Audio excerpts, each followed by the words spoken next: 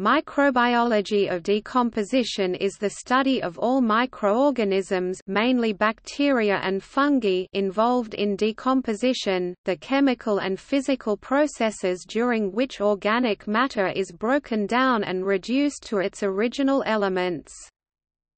Decomposition microbiology can be divided between two fields of interest Decomposition of plant materials Decomposition of cadavers and carcasses The decomposition of plant materials is commonly studied in order to understand the cycling of carbon within a given environment and to understand the subsequent impacts on soil quality.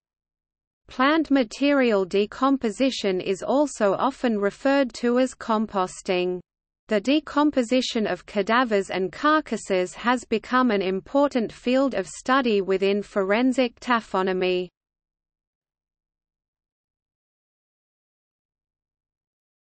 Topic: Decomposition microbiology of plant materials. The breakdown of vegetation is highly dependent on oxygen and moisture levels. During decomposition, microorganisms require oxygen for their respiration. If anaerobic conditions dominate the decomposition environment, microbial activity will be slow and thus decomposition will be slow. Appropriate moisture levels are required for microorganisms to proliferate and to actively decompose organic matter. In arid environments, bacteria and fungi dry out and are unable to take part in decomposition. In wet environments, anaerobic conditions will develop and decomposition can also be considerably slowed down. Decomposing microorganisms also require the appropriate plant substrates in order to achieve good levels of decomposition.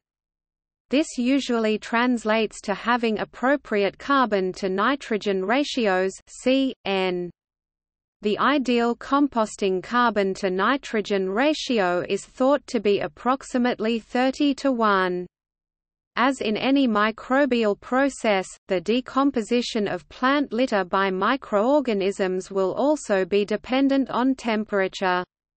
For example, leaves on the ground will not undergo decomposition during the winter months where snow cover occurs as temperatures are too low to sustain microbial activities.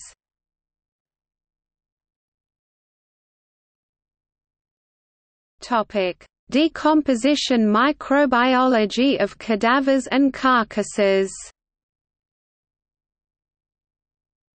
The decomposition processes of cadavers and carcasses are studied within the field of forensic taphonomy in order to aid in the estimation of post-mortem interval PMI or time since death aid in the location of potential clandestine graves. Decomposition microbiology as applied to forensic taphonomy can be divided into two groups of studies Microorganisms from within the body Microorganisms from the decomposition environment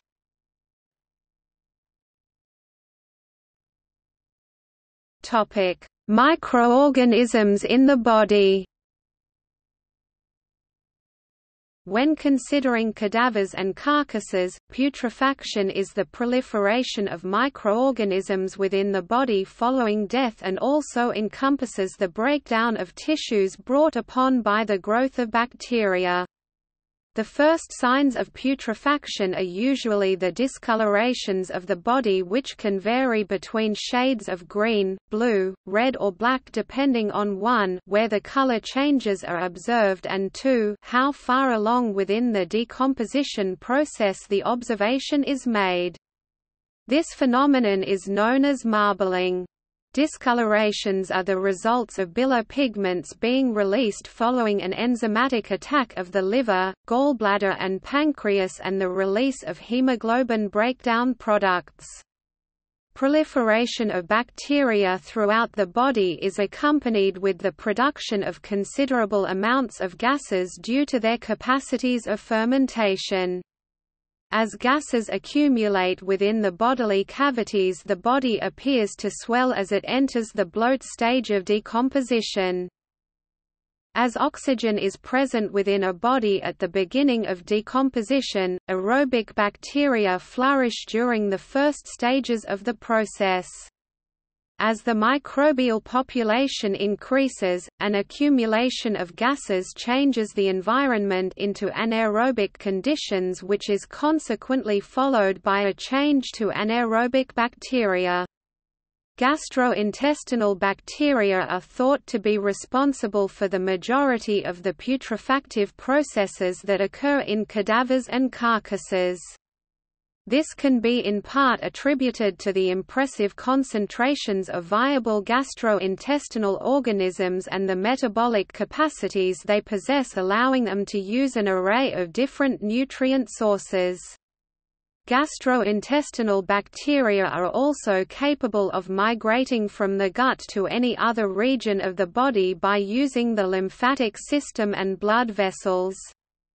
Furthermore, we know that coliform varieties of Staphylococcus are important members of the aerobic putrefactive bacteria and that members of the genus Clostridium make up a large part of anaerobic putrefactive bacteria.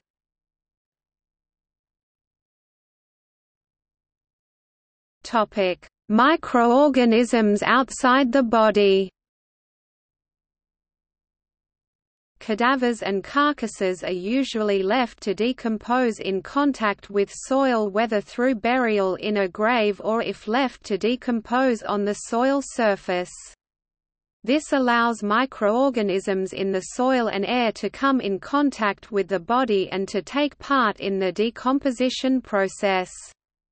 Soil microorganism communities also undergo changes as a result of decomposition fluids leaching in the environment. Cadavers and carcasses often show signs of fungal growth suggesting that fungi use the body as a source of nutrients.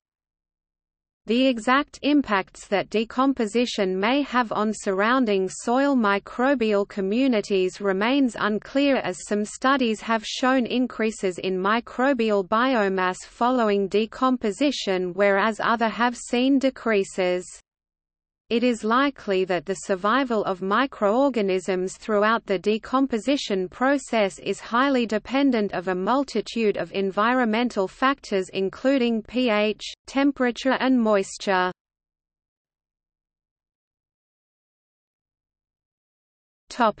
Decomposition fluids and soil microbiology Decomposition fluids entering the soil represent an important influx of organic matter and can also contain a large microbial load of organisms from the body. The area where the majority of the decomposition fluid leaches into the soil is often referred to as a cadaver decomposition island CDI. It has been observed that decomposition can have a favorable influence on the growth of plants due to increased fertility, a useful tool when trying to locate clandestine graves. The changes in the concentration of nutrients can have lasting effects that are still seen years after a body or carcass has completely disappeared.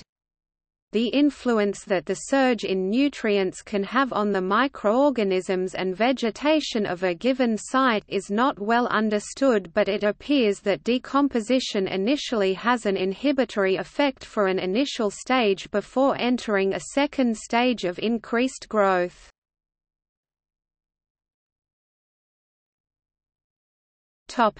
Decomposition fungi it is well known that fungi are heterotrophic for carbon compounds and almost all other nutrients they require. They must obtain these through saprophytic or parasitic associations with their hosts which implicates them in many decomposition processes.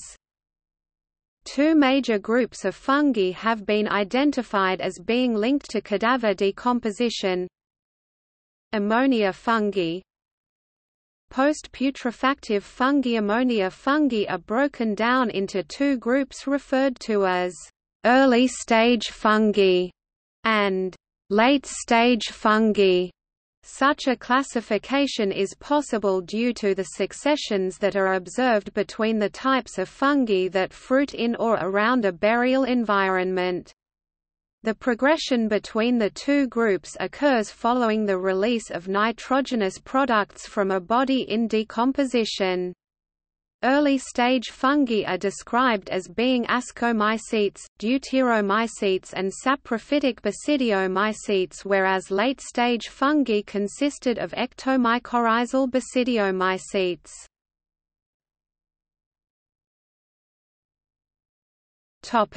Decomposition fungi as PMI estimators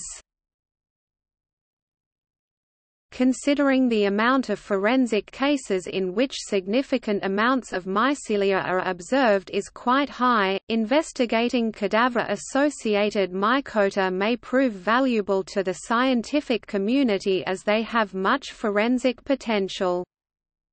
Only one attempt at using fungi as a PMI marker in a forensic case has been published to date.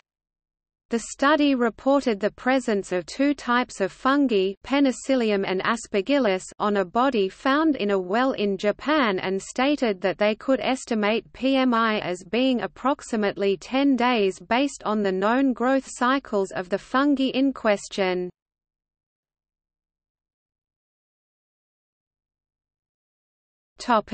See also. Necrobiome